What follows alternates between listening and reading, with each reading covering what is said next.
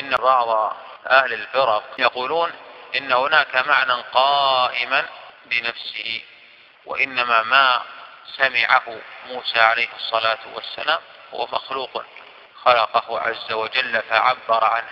ونقول لقد أعمى الله بصائركم فإن الله عز وجل قال وإن أحد من المشركين استجارك فأجره حتى يسمع كلام الله ولم يقل شكاية عن كلام الله أو عبارة عن كلام الله.